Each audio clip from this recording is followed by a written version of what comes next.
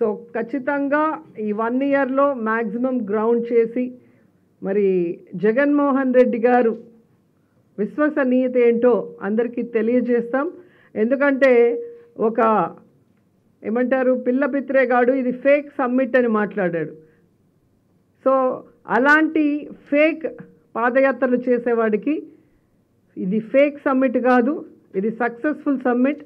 జగన్మోహన్ రెడ్డి గారి బ్రాండ్ ఏంటి ఆయన ఇమేజ్ ఏంటి? ఆయన పరిపాలనను చూసి ఈరోజు పెద్ద పెద్ద వాళ్ళందరూ కూడా మన రాష్ట్రంలో పెట్టుబడులు పెట్టడానికి ఏ విధంగా వచ్చారో వాటిని అన్నింటినీ కూడా నిరూపిస్తామని తెలియజేసుకుంటూ